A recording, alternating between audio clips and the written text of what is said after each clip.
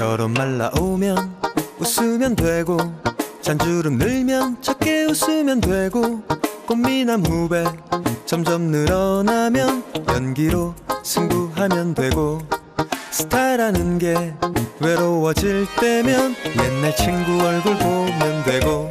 안수야! 잘 지냈냐? 생각대로 하면 되고.